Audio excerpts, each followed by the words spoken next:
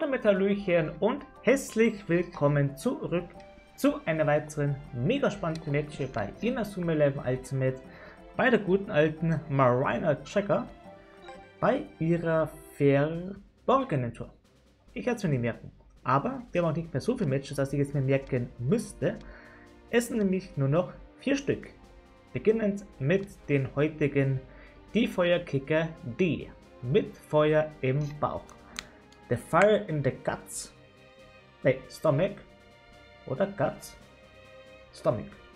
Ich weiß nicht. Mein Englisch ist not so the yellow from the egg sozusagen. Aber ich weiß, wir haben nicht mehr so viele Matches hier, deshalb ja, legen wir gleich mal los. Ich bin mal gespannt, Feuerkicker. Wir hatten ja schon mal so ähnliche. Wir hatten hier mal ein Feuer, da etwas Explosionshaftes mit den Furioso D. Also was wir hier bekommen, bin mal sehr gespannt. So, wir spielen an der Brücke von Orléans, spricht im Frankreich, das ist gut, da brauche ich kein Englisch. Denn mein Französisch ist fast beste wie mein Englisch. So, antreten, oui, oui. Und wir gucken mal, wie es so läuft. Der jetzt werden jetzt immer härter und härter und mal gucken, wann ich mein Zenit erreiche sozusagen. So, Touchpin ist ready und wir legen los. Ultimate oder Ultimate 11 versus die Feuerkicker D mit 63 schon. Fast schon Richtung mein Niveau, levelmäßig. Dann schauen wir mal. Oha, bekannte Gesichter. Oh, Cute ist auch dabei. Geiles Design. Horns ist dabei, finde ich auch mega. Chart hatten wir erst vor kurzem. Und ein paar andere kenne ich jetzt nicht so ganz. Zum Beispiel hier den Torwart, Roundy. Ja, der läuft nicht so ganz. Und, uh, Axel Platze. Da platzt mir die Platze, wenn ich ihn sehe. Eieiei, Na, schauen wir mal. Gehen wir erstmal hier auf die Mannschaft an sich, weil alles dabei ist. Dylan Quint, zukünftiger Kleinkrimineller der im Schulflur rennt und Bänke beschmiert. Oh, also ein richtiger Schul... Moment, was sind wir denn? Da geht's los. Ich dachte mir schon, hä? Modern. Bodenständig und logistisches Denken machen sie zur Top-Analystin. Ja. Hallistik kann von Homöopathie Gottes. Jetzt geht's schon mit den Wörtern los. Kann von Homöopathie nicht genug kriegen und ist deshalb ständig krank. War das nicht... Oh. Tatsächlich, das ist echt eine FFP2. Beziehungsweise in Japan ja so eine stinknormale Mund-Nasen-Schutzmaske. Wusste ich das gar nicht, das ist so cool. Ist echt Charakter, der so eine Originalmaske hat. Wir hatten ja schon FFP5 Masken da gefühlt mit den Gasmasken, weiß der Geier was. Also eine richtige FFP2 Ähnliche hatte ich jetzt noch nie gesehen. Das ist ja cool. Da ist in Japan ja auch ganz normal. Beziehungsweise jetzt weltweit. Und Homöopathie war doch dieses Naturheilkunde-Zeug, oder? Wenn mich nicht alles täuscht. Ich kenne mich da nie so aus, da ich auch so selten krank bin. Weil ich sagen muss, vor zwei Wochen hatte ich auch Corona. Aber nur eine Woche, also ich war nur drei Tage krank, wie eine normale Grippe, dann eine Woche immer positiv und dann negativ, dann war alles gut, also alles gut, nicht so schlimm. Aber interessant, habe ich auch noch nie gesehen. Spannend. So.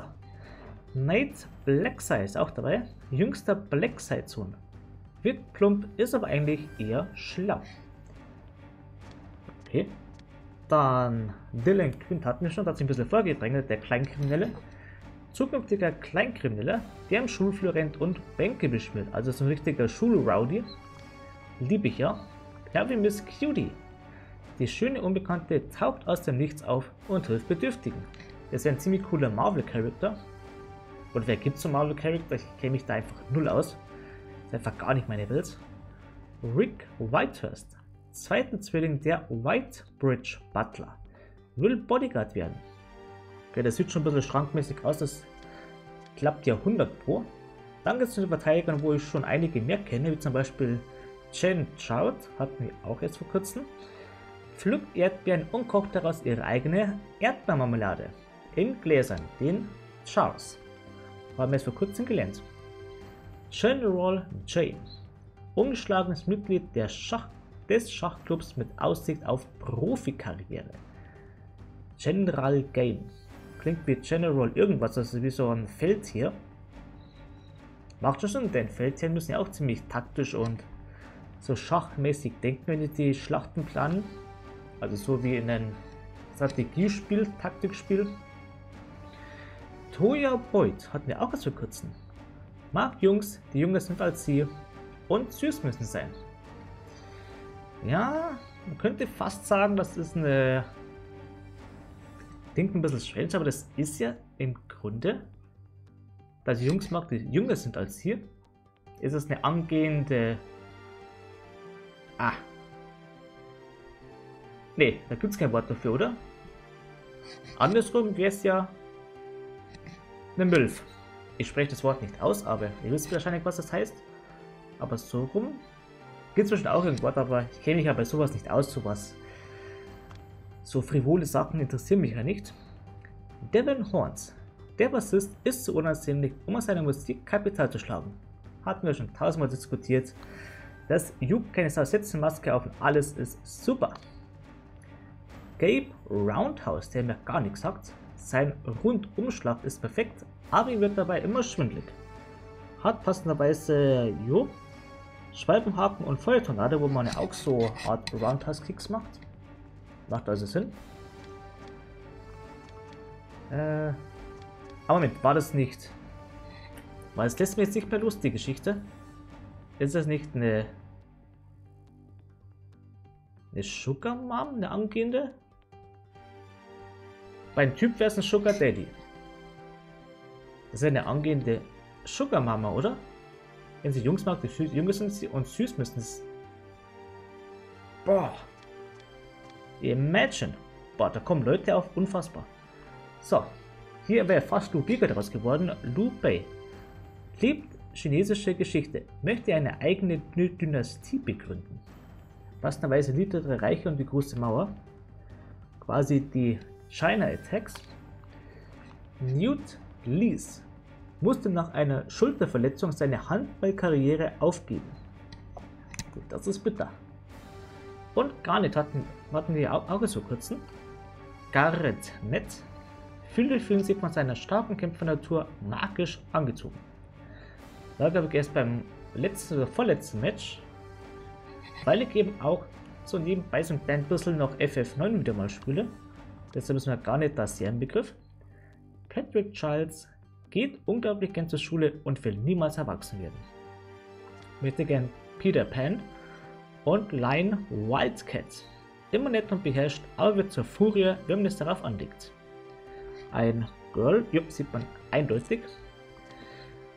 Und als Trainer haben wir Axel Blaze, wie gesagt. Wenn Taktiken, dann richtig. Plus 20 Spezialtechniken, minus 20 Team-CP, was sich so ein bisschen quasi ausgleicht. Dem auf dieser Welt liebt mir Fußball mehr als Axel Blaze, der famose Stürmer. 63 Teamlevel haben sie und 94 TTP, wo man schon ein bisschen was reißen kann. Und ich denke mal, bei dem Niveau, bei dem Trainer vor allem, da wird es bestimmt irgendwas geben.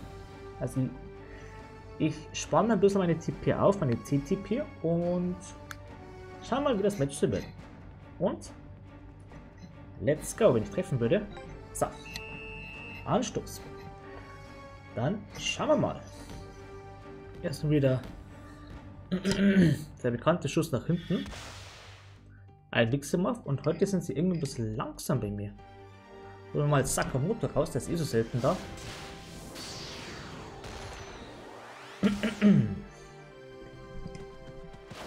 Schauen wir mal, wie es so wird.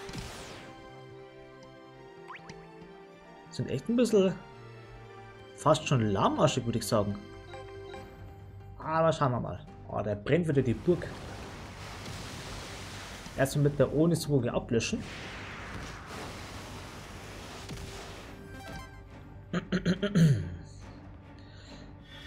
Kleiner Frosch im Hals. So, Aaron holt seinen...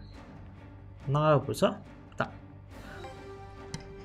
Seinen Erzpegasus raus. Uh, Vitra. Nee, Vritra. Da ist noch ein zweites R drin. So, bin ich schnell genug? Ja. Mal gucken, ob ich bei Roundy gut vorbeikomme. Pegasus Faust. Ah, könnte knapp werden. Denkt mal eher nicht, dass es jetzt fruchten wird. Denkt mal, da wird irgendeine starke Technik kommen. Okay, Gigageist ist nicht der allerstärkste, aber 500 wird sie locker halten können. Ja. Über 700, was sage ich? So, dahin geht das Bällchen. Natürlich wieder Richtung Senat, das heißt, ich muss mal wieder gezwungenermaßen Brandverbot reinsetzen, was ich nicht so gern früh mache. Aber immer wieder trotzdem gern früh mache, weil ich einfach nicht meine Prinzipien festhalte. So, dann holen wir mal die Urgewalt raus. Boom, Zeta. Zeta nicht. Jetzt wird's Ego-Explosionhaft. Ist ein klein bisschen mehr Bums dahinter. Aber auch nicht so ganz Richtung 700, das ist das Problem. Aber nach und nach könnte ich ihn noch schwächen, vielleicht noch ein, zwei Schüsse und dann... Ah, der ist echt ein bisschen stark, Fritra. Na, Cutie. Hi. Erstmal abblocken.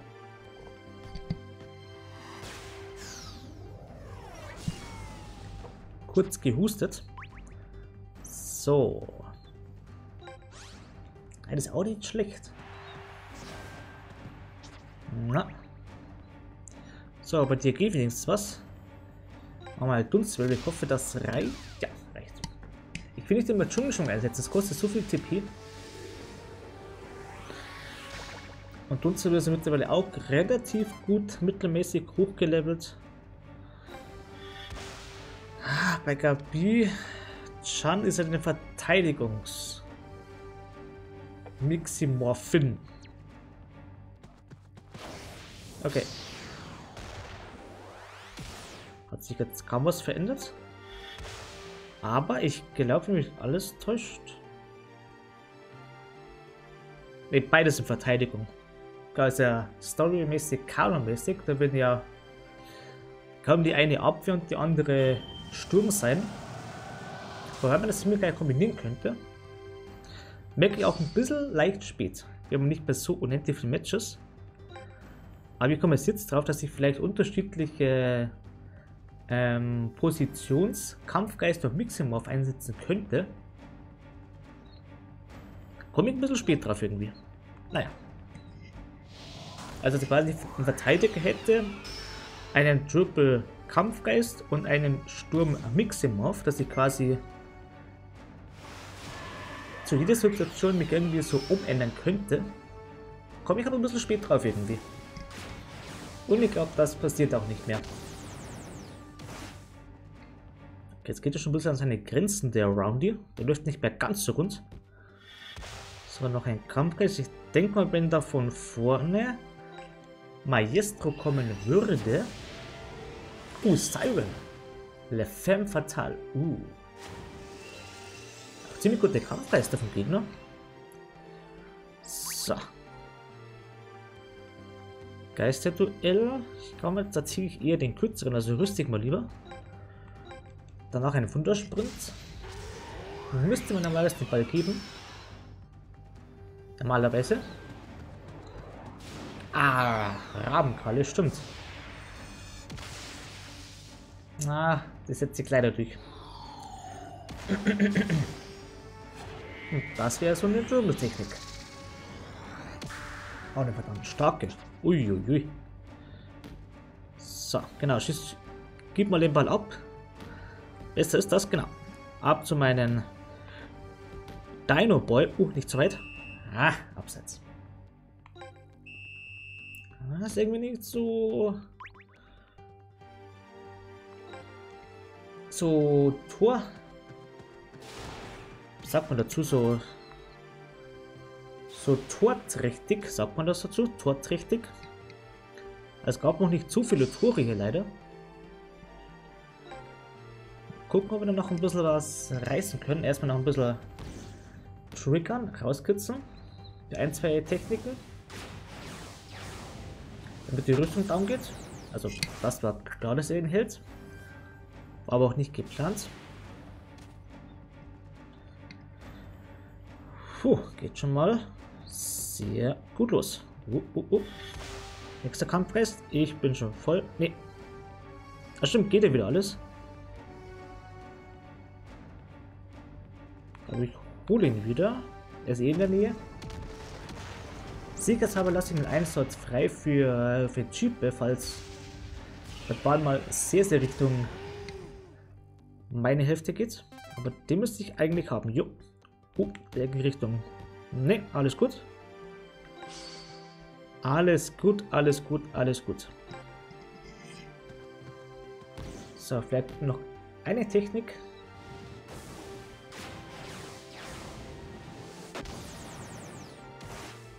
Er schwitzt doch nicht so ganz. Wir haben noch ein bisschen Zeit. Ah. Ich glaube, ich komme nicht so vorbei, oder? Bezweifle ich jetzt eher. Ah, doch, gleich, super. Hätte es eher nicht gedacht, muss ich ehrlich gestehen. So, mit meinen 65 geht wenigstens noch Volltornado ein DD. Eine starke Zeittechnik, die man hier ein bisschen besser einsetzen könnte. Aber das könnte vielleicht reichen. Also zumindest erschöpft es. Und wenn ich schnell genug bin, nee, war too slow for my life. Ablocken. Haben wir keine Rüstung? Ne, geht einfach so. Jetzt auf ganz entspannt, wenn ich hier an den vorbeikomme. Oh, krieg mega Rückenunterstützung. Das heißt, kannst du knicken. Und zu guter Letzt noch ein musikalisches Hyper Harmony. Listen and repeat. Eine die andere war die musikalische Technik. Oh, Viperbiss. Geile Technik, aber zu schwach. Endlich das 1 zu 0. Ja, das war aber musikalisch. Sehr schön. Boah, hat ein bisschen gedauert, aber das erste Tor ist umgeplumpst. Nein, der nächste Ball halte ich aber. Wart's nur ab. Grande. So schießt man Tore. Eide, hat sich jetzt ein bisschen gezogen, das Ganze. Aber ist okay. Ich meine, es ist auch ein etwas höheres Niveau. Wo ich auch ein bisschen mehr konzentrieren müsste. Aber mal gucken. So, das machen wir erstmal bloß auf Sparflamme. Jetzt noch was reißen bringt auch nicht zu viel mehr. Die TP sparen wir uns.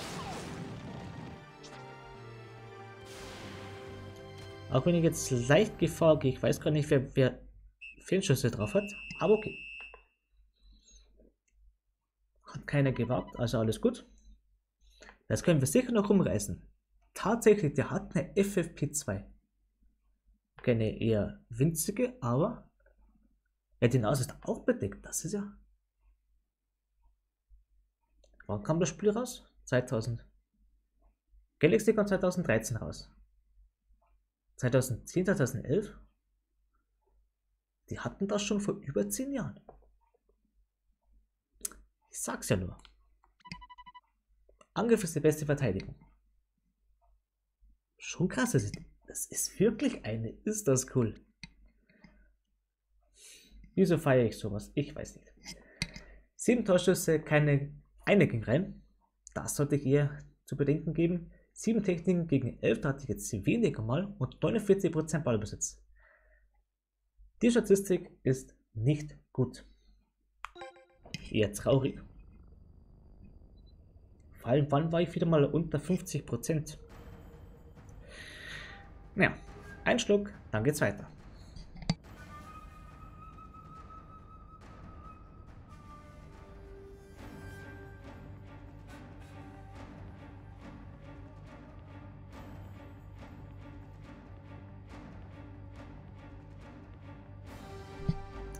So, weiter geht's. By the way, das Getränk auf the day, wieder mal ein bisschen Schleichwerbung. 4 Pro Bubblegum. Da ich noch nicht meine Investition getätigt habe, endlich mal etwas von Just Legends zu bestellen. Endlich weiß ich mal, wie es heißt, Just Legends. Da ja mein Level Up ähm, Gaming Booster langsam die letzten Krümel ähm, äh, die letzten Krümel von sich gibt, sagen wir es mal so. Grammatikalisch. Also es ist nicht mehr so viel da von meinen alten meiner alten Dose, deshalb brauche ich mal eine neue Dose und da bin ich ja schon extrem an an Just Legends dran. Da es ja dieses Drachenfrucht Jutsu gibt. Was sehr cool aussieht. Und es gab ja auch so einen Community-Geschmack mit so möchte gern Oreo. Was bestimmt mega lecker ist.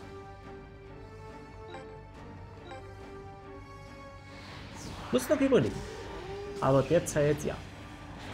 Trink einfach das, was irgendwie so rumfliegt. Und der steht auch sehr gut ins Tor. 2 zu 0. Super. Okay. Kleine Hoffnung für Rang S ist da. Wobei die ganze Tour wird es nicht mehr S werden. Nein. Nächstes Mal hatte ich aber. Wart's nur ab. Ja, ich hab's geschafft. Denn am Ende sind wir, glaube ich, locker bei 70, 80 oder sowas. Ich meine, wir haben noch drei Matches vor uns und da sind wir schon bei 63. Also wird locker 70, 80 rum werden. Bezweifle ich es also auf diesen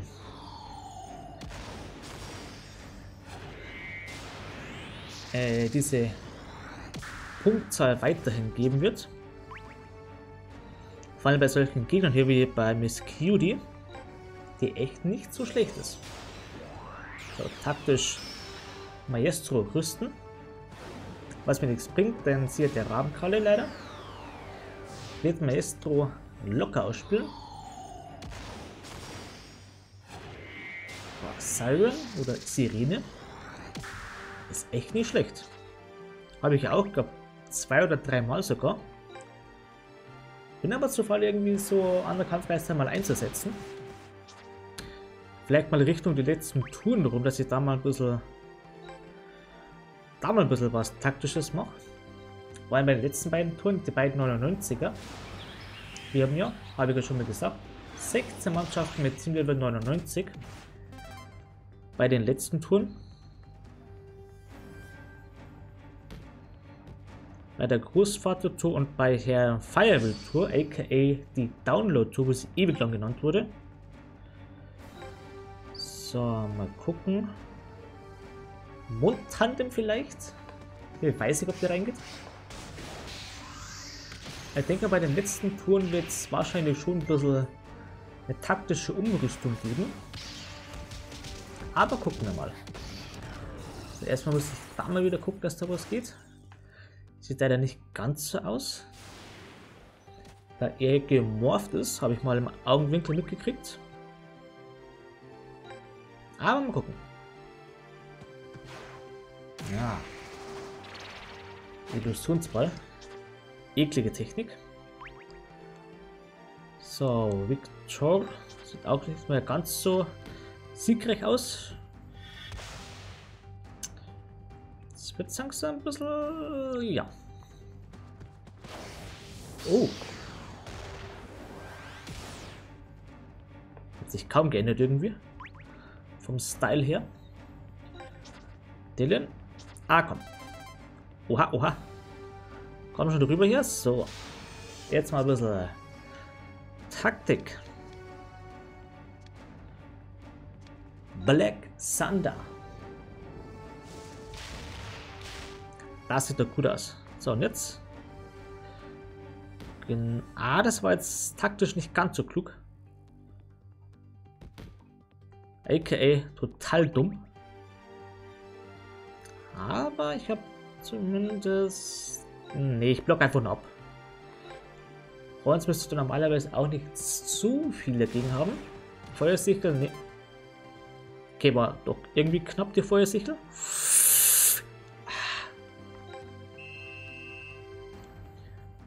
Was ist irgendwie irgendwie bei mir? Nicht ganz hohes Niveau. So. Sanak schwitzt auch ein bisschen. A little bit. Den müsst ihr aber kriegen, jo. So, da noch ganz kurz. Ach, CT ist schon draußen, aber ich merke irgendwie gar nichts davon. Dann holen wir nochmal Zodiac raus. Der war auch noch gar nicht da. Der scharlachrote Star. Dass Sanak wieder ein bisschen Bums dahinter hat. Und hauen blutroter Keil rein. Nicht zu verwechseln mit Blutrot und Geil. Das ist ein Erotikstreifen. Fragt mich nicht, woher ich das weiß. Uh. 13 0. Ja. Okay. In 9 Minuten wäre ein bisschen sportlich. Ah, vielleicht geht noch einer. Nein. Der nächste Mal halte ich aber. Nur ab. Hahaha. Habt ihr das gesehen? Das war der absolute Knaller. Absolutely.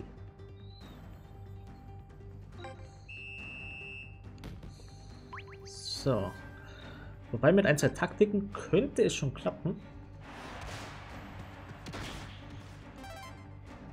Und das machen wir gleich mal.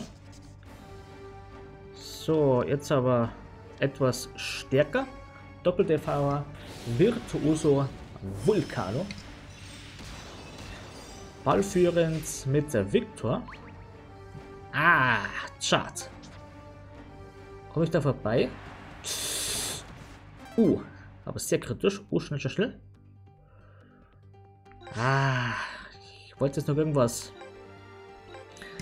Kampfgeist oder Miximov machen. Wahrscheinlich eher Kampfgeist, aber ging zeitlich nicht. Oh. Aber er ist jetzt quasi nackig. Trotzdem zeitlich, ne. Das wird nichts mehr. Ne. Schade. Bleibt leider beim 3 zu 0. Mehr wäre besser gewesen, aber ist ja immer so. Vielleicht geht noch einer. Ah, 35, da geht leider nichts, da ich meine zu stark eingesetzt habe. Okay, dann zerstören wir wenigstens Siren, die jetzt gerüstet wird. Sehr schön. Kann ich also nicht zerstören. Und wieder ihre ne, Fersengeld, okay.